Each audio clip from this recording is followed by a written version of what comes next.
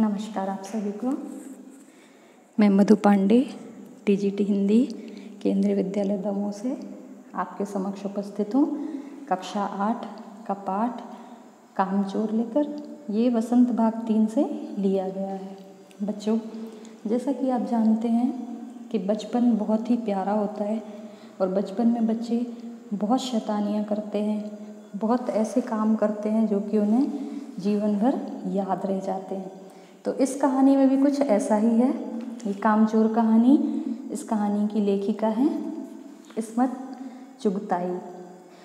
ये बच्चों के मनोविज्ञान पर से संबंधित कहानियाँ लिखती हैं और ये इनके द्वारा लिखित एक श्रेष्ठ कहानी है और इस कहानी में लेखिका ने कामचोरी के वास्तविक रूप को प्रस्तुत किया है। कामचोर किस प्रकार किसी काम को करते हैं और उसका क्या परिणाम निकलता है, यह इस कहानी में हास्य के रूप में वर्णित है। चलिए तो शुरू करते हैं कहानी कामचोर। बड़ी देर के वाद विवाद के बाद यह तय हुआ कि सचमुच नौकरों को निकाल दिया जाए। आखिर ये मोटे मोटे किस काम के हैं? हिलकर पानी नहीं पीते, इन्हें अपना काम खुद करने की आदत होनी चाहिए। कामचोर कहीं के तुम लोग कुछ नहीं, इतने सारे हो और सारा दिन ऊधम मचाने के सिवा कुछ नहीं करते। और सचमुच हमें ख्याल आया कि हम आखिर काम क्यों नहीं करते? हिलकर पानी पीने में अपना क्या खर्च होता है? इसलिए हमने तुरंत हिल हिलाकर पानी पीना शुरू किया। तो बच्चों, ये कहानी लेखिका ने बच्चों की ओर से लिखी है। और इस कहानी में बच्चों को क्योंकि वो संयुक्त परिवार में रहते हैं तो इसीलिए संख्या में बहुत सारे हैं बच्चे, है ना? तो उन बच्चों को डांट पड़ रही है कि तुम अपना काम नहीं करते हो, सिर्फ़ ऊधम करते हो। तो बच्चे हैं तो उनके दिमाग में आया कि सही बात है कि हम आखिर काम क्यों नहीं करते हैं? हमें भी तो हिल हिलाकर मतलब खुद स्वयं चल कर जाकर अपना पानी, यदि हमें पानी पीना है तो पानी पीना चाहिए। हिलने में धक्के भी लग जाते हैं और हम किसी के दबैल तो थे नहीं कि कोई धक्का दे तो सह जाए, लीजिए। पानी के मटकों के पास ही घमासान युद्ध हो गया। सुराहियाँ उधर लुढ़की, मटके इधर गए। कपड़े भीगे सो अलग, यह भला काम करेंगे? अम्मा ने निश्चय किया। करेंगे कैसे नहीं? देखो जी, जो काम नहीं करेगा, उसे रात का खाना हरगिज नहीं मिलेगा, समझे? यह लीजिए, बिल्कुल शाही फरमान जारी हो रहे हैं, है ना? तो यहाँ पर आप देखिए, दबैल मतलब दब्बू, ठीक है? और घमासान मतलब भयानक, घोर। तो अब जब बच्चे पानी पीने के लिए स्वयं उठे तो उससे क्या हुआ? उन्हें आपस में एक दूसरे के धक्के लग गए। अब जब धक्का लगा तो जब एक को दूसरे का धक्का लगा तो वो कहाँ कम रहने वाला था? वो कोई दब्बू तो था नहीं, वो भी बहादुर था। उसने भी धक्का दे दिया। अब क्या हुआ कि पानी के मटकों के पास भयानक युद्ध हो गया बच्चों के बीच में। और जो सुराहियाँ थीं, वे भी इधर उधर लुढ़क गई, मटके भी इधर उधर गए। और जो बच्चों ने पानी लेने के लिए जो झगड़ा किया, उसमें उनके कपड़े भी भीग गए। अब अम्मा ने जब ये दृश्य देखा तो उन्होंने सोचा, हे भगवान, क्या ये काम करेंगे? तो उनके पिताजी ने कहा कि काम तो इन्हें करना पड़ेगा, नहीं तो इन्हें रात का खाना बिल्कुल नहीं मिलेगा। बच्चे कहने लगे, लीजिए, ये राजा की आज्ञा, शाही फरमान मतलब राजा की आज्ञा, जारी हो गई। मतलब राजा की, राजा का आदेश आ गया कि काम तो करना ही पड़ेगा। हम काम करने को तैयार हैं, काम बताए जाएँ। हमने दुहाई दी। बहुत से काम हैं जो तुम कर सकते हो। मिसाल के लिए, यह दरी कितनी मैली हो रही है, आँगन में कितना कूड़ा पड़ा है, पेड़ों में पानी देना है, और भाई, मुफ़्त तो यह काम करवाए नहीं जाएँगे। तुम सबको तनख्वाह भी मिलेगी। अब्बा मियाँ ने कुछ काम बताए और दूसरे कामों का हवाला भी दिया। माली को तनख्वाह मिलती है। अगर सब बच्चे मिलकर पानी डालें तो ए हे, खुदा के लिए नहीं, घर में बाढ़ आ जाएगी, अम्मा ने याचना की। फिर भी तनख्वाह के सपने देखते हुए हम लोग काम पर तुल गए। एक दिन फर्शी दरी पर बहुत से बच्चे जुट गए। वो चारों ओर से कोने पकड़कर झटकना शुरू किया। दो चार ने लकड़ियाँ लेकर धुआंधार पिटाई शुरू कर दी। है ना? अब क्या हुआ? बच्चों ने कहा, अरे, हम तो तैयार हैं काम करने के लिए। काम बताओ। तो फिर उनके पिताजी ने उनसे कहा अरे बहुत से काम है। ये दरी कितनी मैली हो रही है। आँगन में कितना कूड़ा है। पेड़ों में पानी देना है। और ये सब काम हम तुमसे मुफ़्त में नहीं करवाएँगे। हम तुम्हें इसके बदले में तनख्वाह मतलब वेतन देंगे। है ना? मिसाल मतलब उदाहरण के लिए। तो फिर जो अब्बा मियाँ ने जो काम बताए और जैसे ही तनख्वाह की बात की तो सारे बच्चों ने क्या किया कि काम करने के लिए भागे। ये सब देखकर उनकी अम्मा ने विनती की कि यदि ये काम करेंगे तो घर में बाढ़ आ जाएगी। लेकिन जैसे ही वेतन की बात आई, तनख्वाह मतलब वेतन, वैसे ही सारे बच्चे काम करने के लिए एक दूसरे से भिड़ गए, तुल गए काम करने के लिए। और फर्श पर जो दरी पड़ी हुई थी, उसके चारों कोनों को पकड़कर उन्होंने ज़ोर ज़ोर से झट झटकना शुरू कर दिया।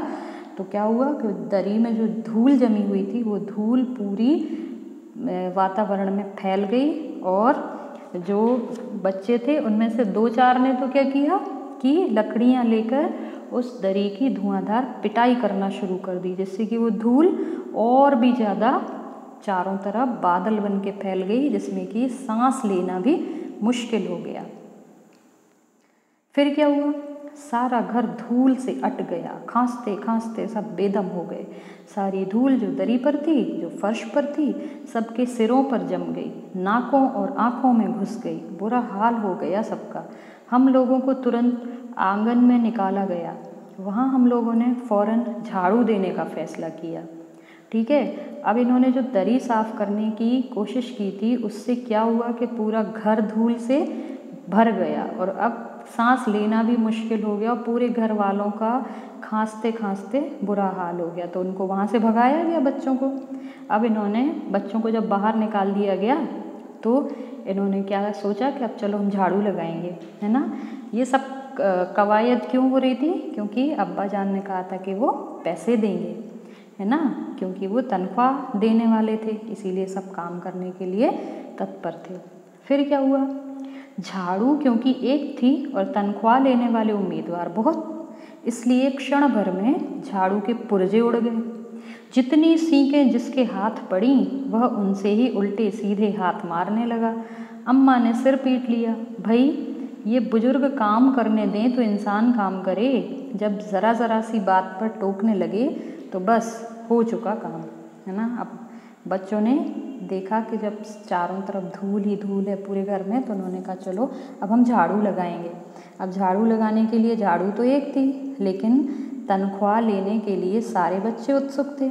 इसीलिए सबके सब झाड़ू लगाने के लिए तत्पर हो गए। अब आप सोचो, इतने सारे झाड़ू लगाने वाले हाथ और झाड़ू, एक कोई किसी ने इधर से खींचा, किसी ने उधर से खींचा, और उस झाड़ू के पुरजे पुरजे उड़ गए। मतलब वो झाड़ू टूट गई और जिसके हाथ में जितनी झाड़ू की सीकें आईं, सभी अपनी अपनी सीकों से उल्टी सीधी झाड़ू लगाने लगे। और अब अम्मा को बहुत गुस्सा आया। तो बच्चे क्या कह रहे हैं कि ये घर के बड़े बूढ़े तो हमें काम ही नहीं करने देते हैं। जब भी हम कुछ काम करते हैं तो ज़रा ज़रा सी बात पर टोकने लगते हैं। इस तरह से टोकेंगे तो बस हो चुका काम। है ना? ये बच्चों का ऐसा सोचना है है ना? असल में झाड़ू देने से पहले ज़रा सा पानी छिड़क लेना चाहिए। बस यह ख्याल आते ही तुरंत दरी पर पानी छिड़का गया। एक तो वैसे ही धूल से अटी हुई थी, पानी पड़ते ही सारी धूल कीचड़ बन गई। अब सब आँगन से भी निकाले गए। तय हुआ कि पेड़ों को पानी दिया जाए। बस सारे घर की बाल्टियाँ, लोटे, तसले, भगोने, पतीलियाँ लूट ली गईं। जिन्हें ये चीज़ें ना भी मिली, वे डोंगे, कटोरे और गिलास ही ले भागे। अब सब लोग नल पर टूट पड़े। यहाँ भी वह घमासान मची कि क्या मजाल जो एक बूंद पानी भी किसी के बर्तन में आ सके। ठुस समठास किसी बाल्टी पर पतीला और पतीले पर लोटा और भगोने और डोंगे पहले तो धक्के चले, फिर कुहनियाँ और उसके बाद बर्तन फ़ौरन बड़े भाइयों, बहनों, मामुओं और दमदार मौसियों, फूफियों की कुमक भेजी गई। फौज मैदान में हथियार फेंक कर पीठ दिखा गई, है ना? अब क्या हुआ? कि झाड़ू लगा रहे थे तो बच्चों के दिमाग में आया कि चलो, झाड़ू लगाने के पहले यदि हम ज़रा सा पानी छिड़क देंगे ना तो ये धूल नहीं उड़ेगी। तो उन्होंने क्या किया कि सारी दरी पर पानी डाल दिया और दरी पर तो बहुत सारी धूल थी तो पानी पड़ते ही वो कीचड़ बन गई। ठीक है तो अब जब पूरे, पूरी दरी कीचड़ से सन गई तो उनको अब आँगन से भी निकाल दिया गया, है ना? वहाँ से भगाया गया इनको। तो इन्होंने सोचा, चलो पानी पेड़ों में दे दिए, दिया जाए। बस तो अब बच्चे तो बच्चे। उन्होंने क्या किया, घर के सारे पानी देने लायक बर्तन उठा के भागे और फिर नल पर पहुँचे, वहाँ भी इनकी इतनी घमासान युद्ध हुआ, यहाँ इतना भयानक युद्ध हुआ कि किसी के बर्तन में एक बूंद भी पानी नहीं आया और बस उसके बाद लड़ाइयाँ होने लगी, है ना? और वो जो बर्तन पानी सींचने के लिए ले गए थे, एक दूसरे को मारने लगे। अब इनको वहाँ से भी भगाने के लिए इनके बड़े भाइयों, बहनों और बाकी रिश्तेदारों के कुमक मतलब होता है फौजी टुकड़ी। है ना? तो इस फौजी टुकड़ी को इनको यहाँ से भगाने के लिए भेजा गया। सबने इनको डांटा डपटा। तो ये वाली फौज भी मैदान में हथियार फेंक फेंक कर पीठ दिखा गई ठीक है? तो सब के सब वहाँ से भागे क्योंकि बड़े भाई बहन तो बिल्कुल भी नहीं आ, सोचते हैं कि हम तुमको छोड़ेंगे उन्हें तो मौका चाहिए। तो बस सारे के सारे उनसे डरकर भाग गए। इस धींगा मुश्ती में कुछ बच्चे कीचड़ में लथपथ हो गए, जिन्हें नहलाकर कपड़े बदलवाने के लिए नौकरों की वर्तमान संख्या काफ़ी नहीं थी। पास के बंगलों से नौकर आए और चार आना प्रति बच्चा के हिसाब से नहलवाए गए। हम लोग कायल हो गए कि सचमुच यह सफ़ाई का काम अपने बस की बात नहीं और ना पेड़ों की देखभाल हमसे हो सकती है। कम से कम मुर्गियाँ ही बंद कर दें। बस शाम ही से जो बाँस छड़ी हाथ पड़ी, लेकर मुर्गियाँ हाँकने चले। चल दड़बे चल दड़बे, पर साहब मुर्गियों को भी किसी ने हमारे विरुद्ध भड़का रखा था। ऊट पटांग इधर उधर कूदने लगी। दो मुर्गियाँ खीर के प्यालों से जिन पर आया चांदी के वर्क लगा रही थी, दौड़ती फड़फड़ाती हुई निकल गई।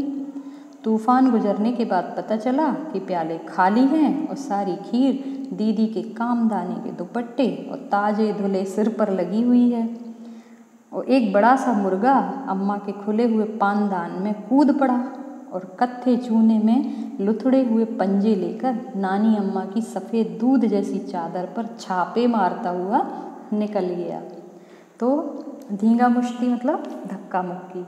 तो अब इस धक्का मुक्की में पानी, पेड़ों को पानी देने की धक्का मुक्की में कुछ बच्चे कीचड़ में लथपथ हो गए। कीचड़ में बिल्कुल ऐसे छप गए कि उनको नहलवाने के लिए जो घर में नौकर थे ना, वे कम पड़ गए। तो आसपास के बंगलों से नौकर बुलवाए गए और नौकरों ने भी चार आना प्रति बच्चा के हिसाब से लेकर उन बच्चों को नहलवाया। है ना? तो फिर बच्चे कहते हैं कि हम लोग भी इस बात को मान गए कि घर की सफ़ाई करना या फिर पेड़ों में पानी देना, ये हमारे बस का काम नहीं है। फिर बच्चों ने सोचा, चलो अच्छा एक काम करते हैं। इन मुर्गियों को इनके दड़बों में बंद कर देते हैं।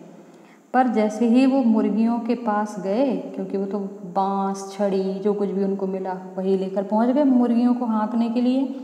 और मुर्गियाँ बेचारी डर गई। तो बच्चे कह रहे हैं कि मुर्गियों को किसी ने हमारे विरुद्ध भड़का रखा था। फिर मुर्गियाँ क्या हुई? वे डर कर इधर उधर ऊट पटांग दौड़ने लगी। कहीं भी, जहाँ भी जिस मुर्गी को जगह मिल रही थी, वो दौड़ रही थी। फिर दो मुर्गियाँ तो खीर के प्यालों में कूद गई, जिन पर आया चांदी के वर्क लगा रही थी, है ना? और बाद में जब ये सारा तूफ़ान गुजर गया तो पता चला कि वो सारी खीर दीदी के दुपट्टे और उसके धुले हुए सिर पर लगी हुई है। और एक बड़ा सा मुर्गा जो था ना, वो अम्मा के पानदान में, कत्था और चूना में कूद गया। अब उसके पंजों में कत्था और चूना लग गया तो जब वो वहाँ से भागा तो उसने नानी की सफ़ेद एकदम दूध जैसी चादर पर से दौड़ता हुआ वो निकल गया तो उसके पंजों के छापे बनाते चला गया वो वहाँ से। तो इस तरह से इस तूफ़ान के गुजर जाने के बाद बहुत ही घर की अस्त व्यस्तता बढ़ गई। फिर एक मुर्गी दाल की पतीली में छपाक मारकर भागी और सीधी जाकर मोरी में इस तेज़ी से फिसली कि सारी कीचड़ मौसी जी के मुँह पर पड़ी, जो बैठी हुई हाथ मुँह धो रही थी। इधर सारी मुर्गियाँ बेनकेल का ऊँट बनी चारों तरफ़ दौड़ रही थीं। एक भी दड़बे में जाने को राज़ी ना थी। इधर किसी को सूझी कि जो भीड़ें आई हुई हैं, लगे हाथ उन्हें भी दाना खिला दिया जाए।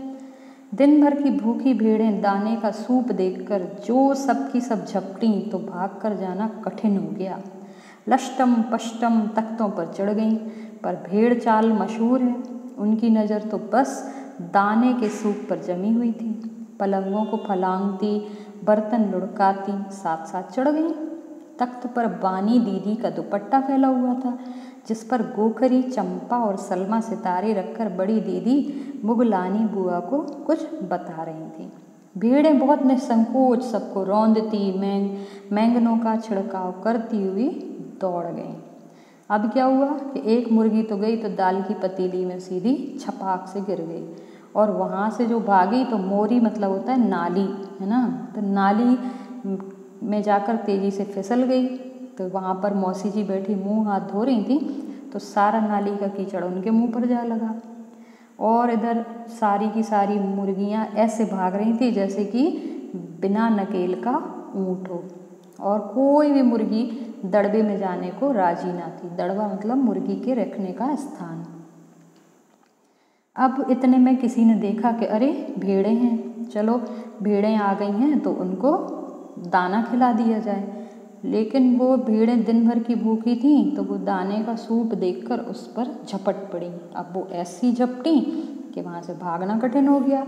पर भेड़ चाल मशहूर है ना तो उनकी तो बस दाने के सूप पर नज़रें जमी हुई थीं और वो वहाँ से फरलांग मारती हुई, बर्तन लुढ़काती हुई, इधर उधर जहाँ उनको जगह मिल रही थी, चढ़ते उतरते भागती रहीं और सबको जो भी उनके रास्ते में आता रहा, उसको रौंदती रहीं।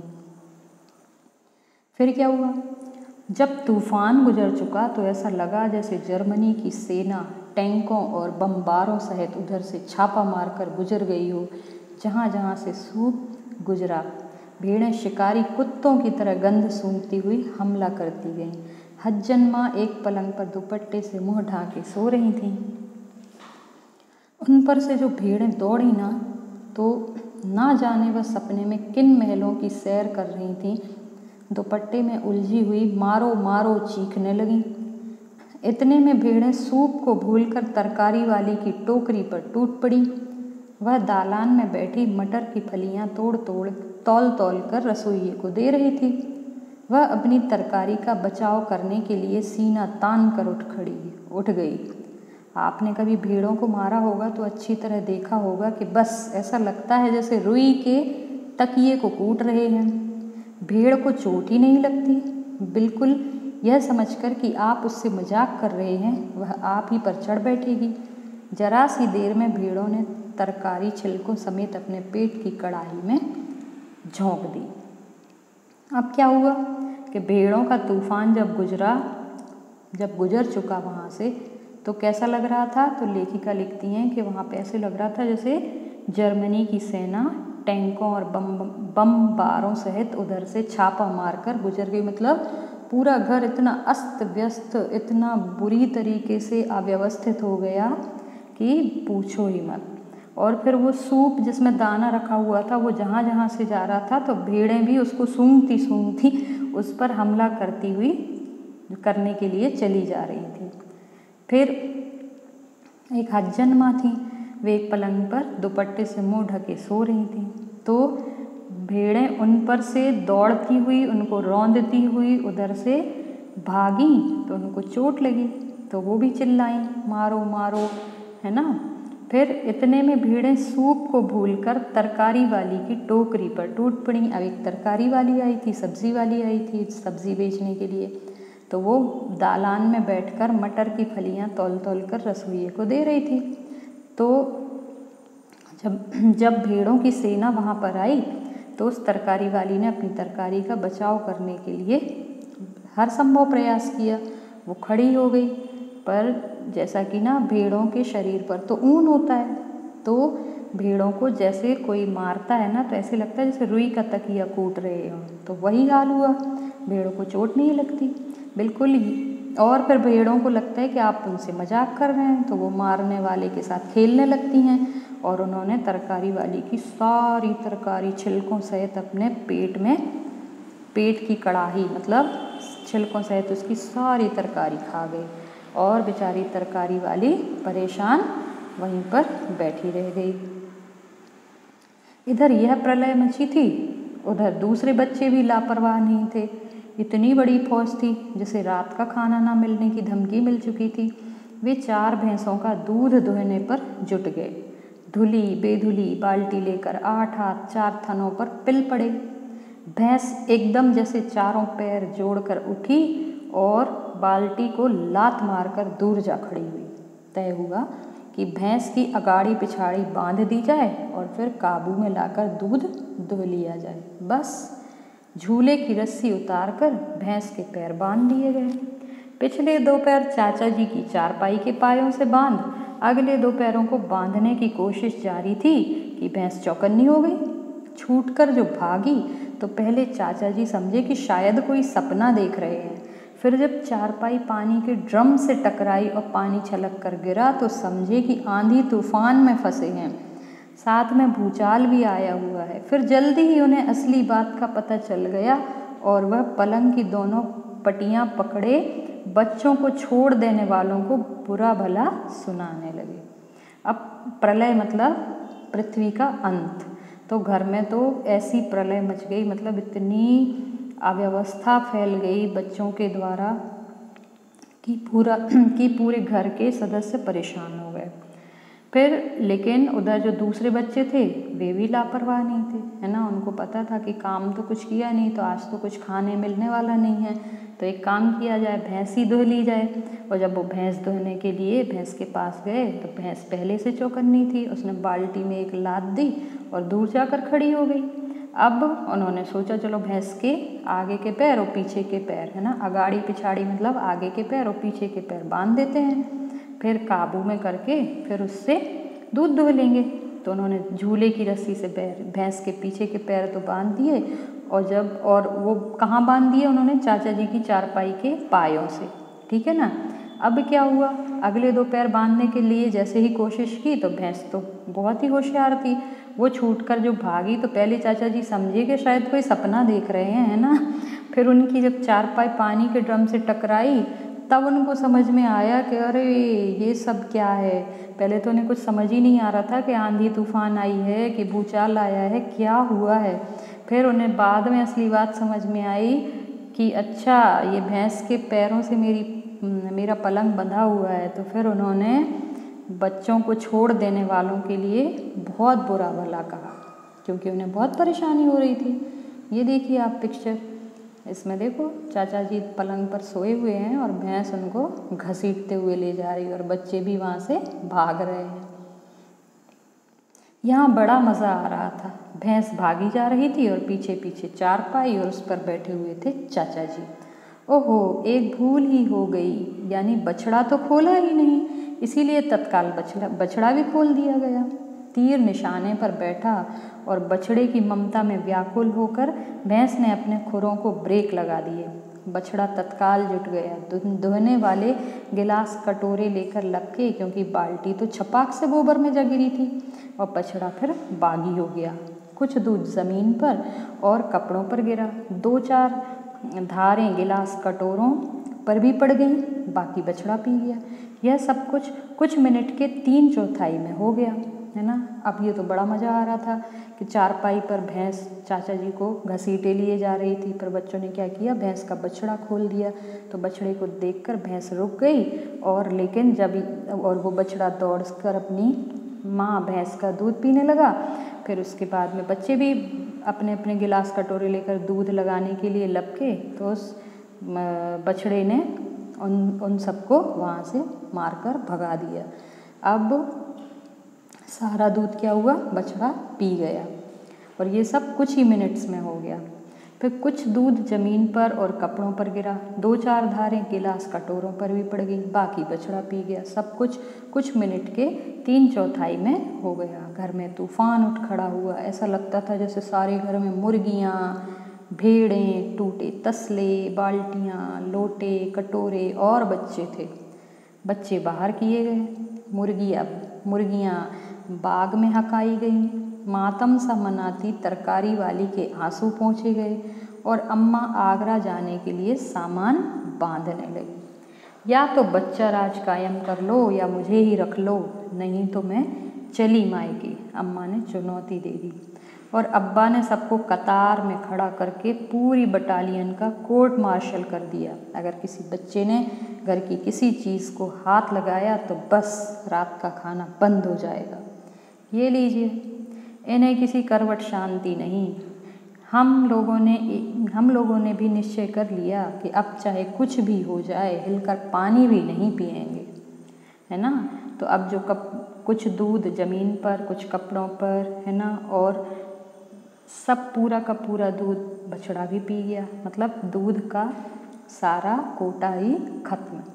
अब जो घर में तूफ़ान हुआ था ना, उससे ऐसे लगता था घर में चारों तरफ़ मुर्गियाँ घूम रही थी, भेड़ें घूम रही थी, टूटे तसले पड़े थे, बाल्टी, लोटे, कटोरे और सिर्फ़ बच्चे ही बच्चे दिखाई दे रहे थे। फिर सबसे पहले घर से बच्चों को बाहर किया, मुर्गियों को बाग में हाँका।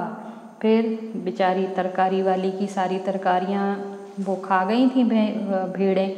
तो फिर उनको आँसू पोछे गए मतलब उनको उनके पैसे दिए। और इतना सब करने के बाद जो बच्चों की माँ थी, उन्होंने कहा, मैं तो आगरा जा रही हूँ अपने मायके है ना?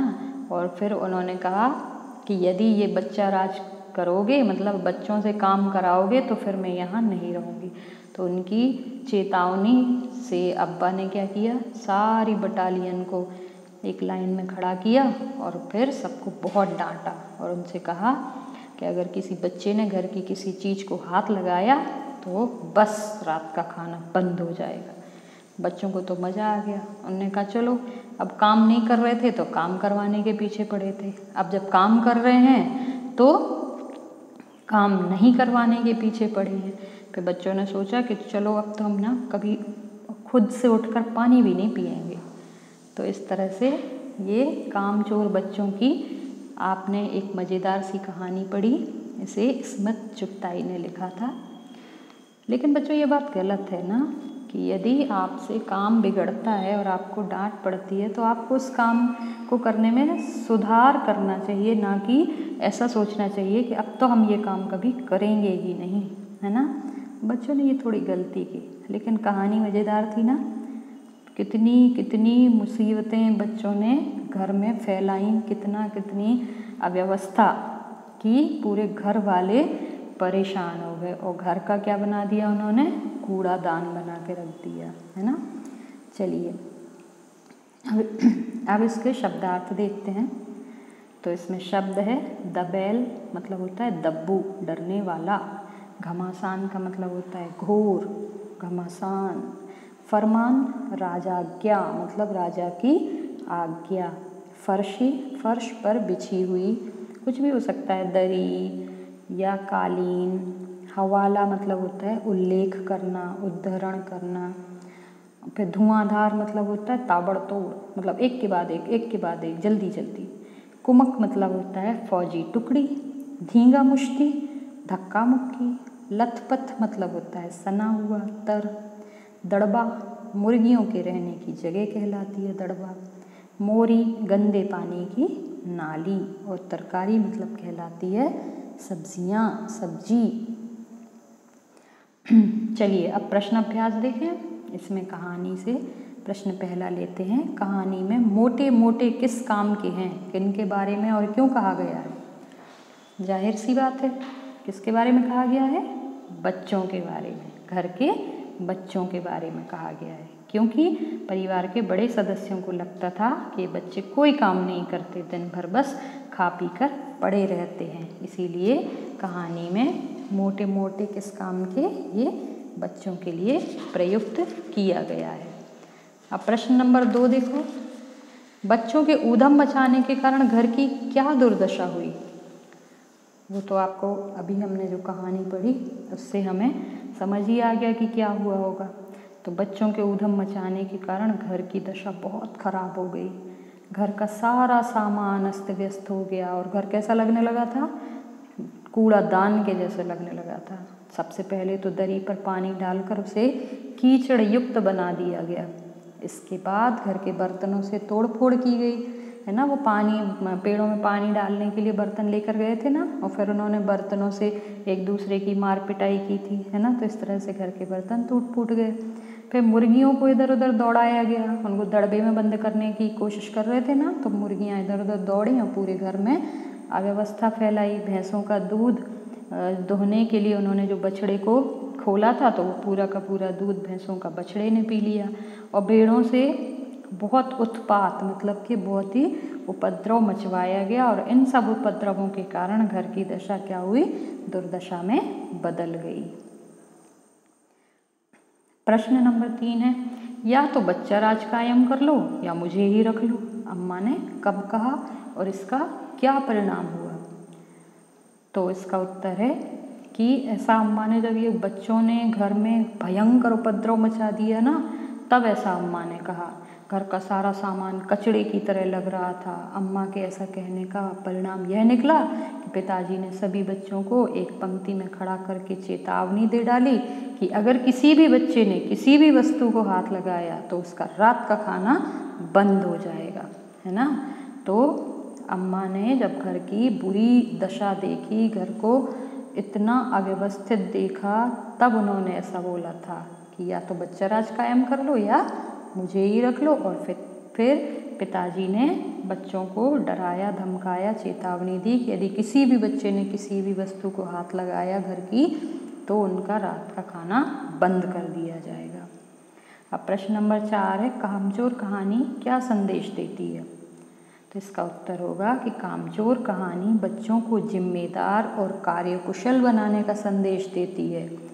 इसके अनुसार प्रत्येक माता पिता को चाहिए कि वे अपने बच्चों को अपना काम स्वयं करना सिखाएँ और समय आने पर घर की जिम्मेदारियाँ उठाने के लिए तैयार करें। है ना? कामचोर कहानी से हमें ये संदेश मिलता है कि बच्चों को काम करना आना चाहिए।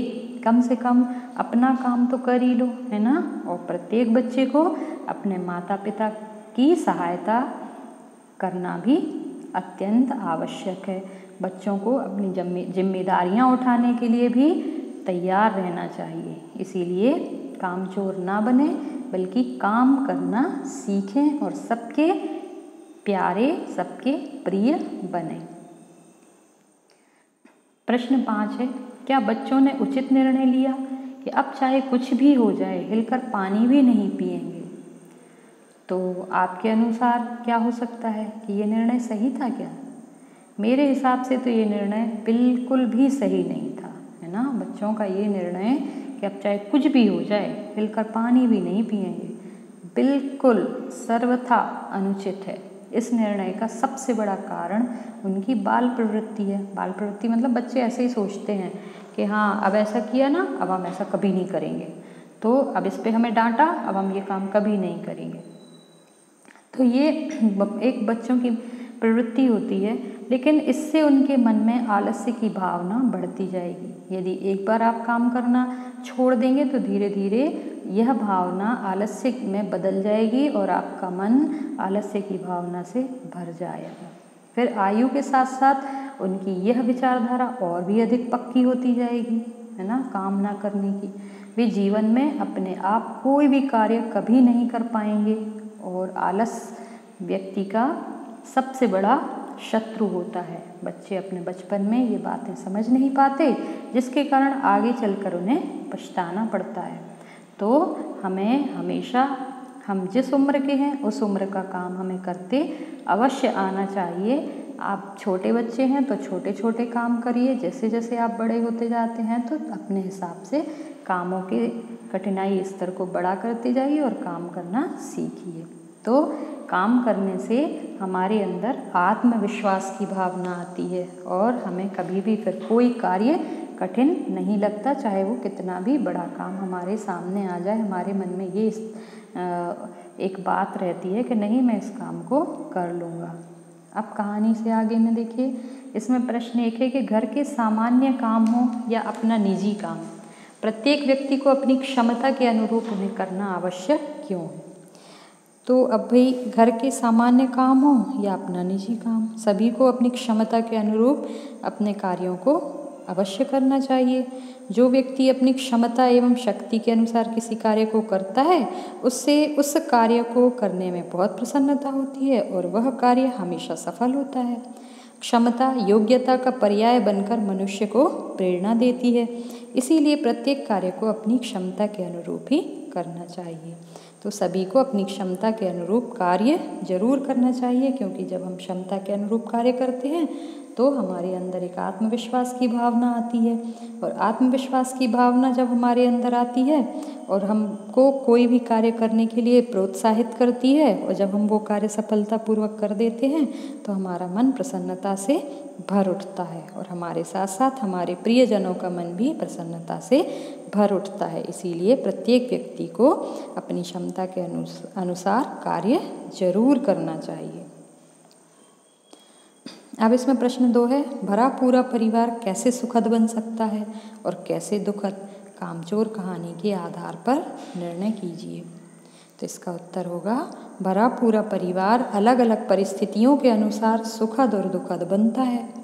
कोई भी भरा पूरा परिवार सुखद तब बनता है जब उस परिवार के सदस्य मिलजुल कर रहते हों, एक दूसरे का सम्मान करते हों, सारा परिवार अपना सारा काम मिल बांट कर करते हैं। दूसरी तरफ़ यही परिवार दुख, दुखद तब बन जाता है जब कुछ ही व्यक्ति कार्य करते हैं और अन्य लोग आराम से आदेश देने का कार्य करते हैं और जब ऐसे आराम पसंद लोगों को काम करना पड़ता है, तब वे बेमन से काम करते हैं। और काम बिगाड़ कर नई समस्याएँ खड़ी कर देते हैं। जैसे कि कामचोर कहानी में जब बच्चों से काम कराया गया तो उन्होंने घर में भयंकर उपद्रव मचा दिया। घर का सारा सामान कचड़े की तरह कर दिया था। घर की शांति अशांति में बदल गई थी। इस तरह से हम कह सकते हैं कि जब तक घर का प्रत्येक सदस्य अपने घर के कार्यों में रुचि नहीं दिखाएगा और प्रतिदिन घर के कार्यों को सीखेगा और करेगा नहीं, तब तक परिवार में दुखद स्थिति बनी रहेगी। इसका मतलब ये हुआ कि हमें अपने परिवार को सुखद बनाने के लिए हमेशा घर के कामों में सहयोग करना चाहिए, क्योंकि घर का कार्य करने का जिम्मा सिर्फ़ माँ का नहीं होता है। आपको भी उसमें काम ज़रूर करना चाहिए, जिससे कि आपके माँ को सहायता भी मिलेगी और वे प्रसन्न भी रहेंगी। अब प्रश्न तीन है कि बड़े होते बच्चे किस प्रकार माता पिता के सहयोगी हो सकते हैं और किस प्रकार भार? कामचोर कहानी के आधार पर अपने विचार व्यक्त कीजिए। तो इसका उत्तर होगा, बड़े होते बच्चे माता पिता के सहयोगी हो सकते हैं जब वे घर के छोटे छोटे कार्यों में उनकी मदद करें, जैसे अपना कार्य स्वयं करना, अपने आप स्कूल के लिए तैयार होना, अपने सामान व्यवस्थित रखना घर को व्यवस्थित रखने में माँ की सहायता करना। इसके विपरीत, यदि बच्चे स्वयं अपना कार्य करना नहीं सीखेंगे तो वे बड़े होने पर कोई भी कार्य ठीक से नहीं कर पाएँगे। उनको जब कोई भी कार्य करना पड़ेगा तो वे कामचोर कहानी के बच्चों की तरह सारे काम को तहस नहस कर देंगे और माता पिता को समाज में शर्मिंदा होना पड़ेगा। परिणाम स्वरूप माता पिता पर अपने काम के लिए निर्भर रहने वाले बच्चे उन पर भार ही बनेंगे। इसीलिए माता पिता को बच्चों की उम्र और रुचि के अनुसार ही उन्हें धीरे धीरे कार्य सिखाना चाहिए, जिससे उनमें कार्य के प्रति रुचि तथा लगन उत्पन्न हो और वे अपने माता पिता के सहयोगी बन सकें। ठीक? तो बड़े होते बच्चों को अपने माता पिता के सहयोगी बनना चाहिए, ना कि उन पर भार। है ना? कामचोर कहानी एकल परिवार की कहानी है या संयुक्त परिवार की? इन दोनों तरह के परिवारों में क्या क्या अंतर होते हैं? तो इसका उत्तर होगा कि कामचोर कहानी संयुक्त परिवार की कहानी है और इन दोनों में अंतर इस प्रकार से होगा। एकल परिवार में सदस्यों की संख्या तीन चार ही होती है, जबकि संयुक्त परिवार में तो दादा दादी ताऊ जी, ताई जी चाचा चाची है ना, बुआ फूफा जी उनके बच्चे माता पिता और बच्चे भी साथ में मिलकर रहते हैं, जिसके कारण परिवार के सदस्यों की संख्या ज़्यादा होती है। और संयुक्त परिवार में सभी मिलजुल कर कार्य करते हैं, जबकि एकल परिवार में सभी को अपना काम स्वयं करना पड़ता है। संयुक्त परिवार में सभी सदस्य जीवन के सुख दुख का सामना एक साथ मिलजुल कर करते हैं, जबकि एकल परिवार में जीवन के सुख दुख का सामना अकेले ही करना पड़ता है। तो दोनों ही तरह के परिवारों की अपनी अपनी विशेषताएँ हैं, है ना? एकल परिवार में बच्चे ज़्यादा आत्मनिर्भर बनते हैं। क्यों? क्योंकि वे अपना काम स्वयं करते हैं और अपनी जिम्मेदारियाँ उठाते हैं, है ना? जबकि संयुक्त परिवार में काम करने वाले हाथ, सहायता करने वाले हाथ बहुत सारे होते हैं, जिससे कि बच्चों को काम करने की ज़्यादा आवश्यकता नहीं पड़ती है है ना? तो इस तरह से संयुक्त परिवार और एकल परिवार दोनों की ही अपनी अपनी विशेषताएँ हैं। चलिए, अब भाषा की बात की बात कर लेते हैं। तो इसमें प्रश्न है कि धुली बेधुली बाल्टी लेकर आठ हाथ चार थनों पर पिल पड़े। धुली शब्द से पहले बे लगाकर बेधुली बना है, जिसका अर्थ है बिना धुली। बे एक उपसर्ग है। आप भी नीचे लिखे उपसर्गों से बनने वाले शब्द खोजिए, है ना? तो उपसर्ग और शब्द हैं। उपसर्ग है बे। उपसर्ग होता है वह शब्दांश जो कि वह शब्दांश जो कि शब्द के प्रारंभ में लगकर उसे एक नया अर्थ प्रदान करता है है ना? तो वो उपसर्ग है। तो अब उपसर्ग के रूप में यहाँ पर हमारे पास हैं बे, प्र, आ, भर, बद। अब इनको आगे लगाकर किसी भी शब्द के और हमें नए शब्द बनाना है। तो ईमान ईमान के आगे बे लगा तो बे ईमान। घर के आगे बे लगा तो बेघर चैन के आगे बे लगा तो बेचैन, होश के आगे बे लगा तो बेहोश। अब प्र तो बल के आगे प्र लगा दिया तो प्रबल, प्रसन्न, प्रगति, प्रवाहित, आ, आचरण। है ना? चरण के आगे आ लगा दिया, श्रम के आगे आ लगा दिया तो आश्रम। कुल के आगे आ लगा दिया तो आकुल। जन्म के आगे आ लगा दिया तो आजन्म। अब है भर।